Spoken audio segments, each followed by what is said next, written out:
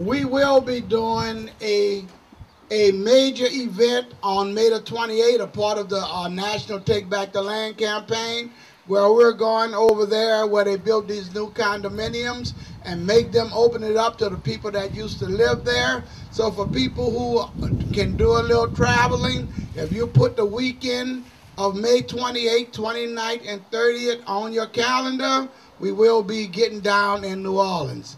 Uh, uh, while we're here, we have a, a lady, Viola Francois Washington, has been telling me about this lady forever. She's always telling me how this lady has been out here for years and years, even though she's very young. You know, she has been out here since she was really an infant. So I, I would uh, like to, to bring up Miss Marian Kramer from the National Welfare Rights Organization. And also I thank the host uh, of, of, of many of us when we go up to Michigan because she's also with the Detroit Welfare Rights Organization. So let's give her a big, big Warriors welcome. Thank you very much. It's so it's such an honor to be here because this is a, a, historical day, and you know we talk about this day as far as the murdering of Dr. King and what he was doing at that time to try to put poverty on the agenda of the United States in 1968. And when he was moving to do that with the mule train, right, they killed him the next day. So this is not a easy undertaking that you're taking on today. It don't look like it might be a lot of people, but it don't take a lot of people to start a movement. You, you're the ones that are in the forefront, and you know they're going to try to black us out on the news media because they don't want people to understand the plight of poverty in this nation. It is worse today than it was in 1968. There are more children in poverty now than in 1968. There are more people without homes today than in 1968. So what you're taking on today is not only to expose the problem that we are having here, and you know, it's criminal. This par parish over here, St. Bernard Parish, was a parish that in the civil rights movement we could not even go into because they had, they had said if we if the civil rights workers come into there, Leander Perez was going to put us into the old slave camps where they used to keep the slaves. And you know, and, and, and what he was going to do as far as killing us and everything else over there.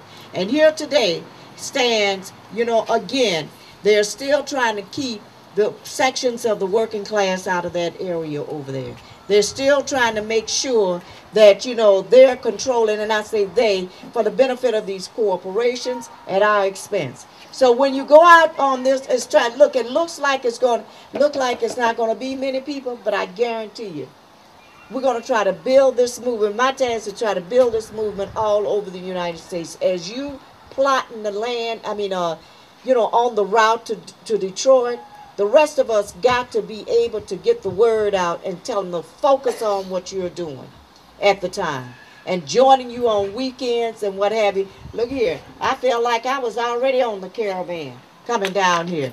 I had, if my daughter hadn't volunteered and said, Mom, I'm going to help you to drive, you know, I think I still would be on the highway coming from Detroit because we went from Detroit to, what, Dallas, and turned around last night and came back into Baton Rouge and back here. Because, you know, we're trying to spread the word on the one hand, and two, trying to, uh, trying to uh, see families that we haven't seen in a long time. It's a huge job, but it can be done. And I got faith in you that we're going to do this. We're getting ready in Detroit for this U.S. Social Forum. And one of the key events that is taking place is the event that you are participating in.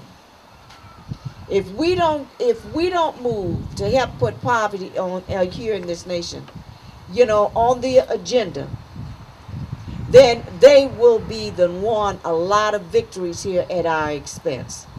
Each time they move to bail out these corporations, more and more people go deeper and deeper into poverty. Each time they move to bail out these corporations, more and more, uh, more and more young people will not realize a future as far as having no jobs or, or having homes and food on the table. So the future is up to you, young people, and how are we gonna, what we gonna do. We we have not never tried. We've never tried this one before. marching from the south all the way to Detroit and making sure folks understand the connection of Detroit to the south and the poverty that is linked down here. That you know, if you're in Detroit and you're in poverty, you know, you got a linkage with folks that are in the south that are in poverty. What they're doing in here to try to get back into your homes and what have you, it's the same thing that's happening in Detroit because now they're talking about downsizing the city. They're downsizing the city not for the benefit of the people in the city. They're downsizing the city to build these big industrial parks and, and put industrial parks in places where people used to live and not have to recognize unions, don't have to recognize minimum wages, don't have to recognize none of the laws that have been fought for and passed to protect workers. It's all at our expense. So you have a big job before you. But I want to hear your voices. I want to hear your mouths on, on, on the uh, caravan. And I don't want you to believe for one minute that you're alone out here because you're the army that we've been waiting for. Thank you for giving me the opportunity to be a part of you.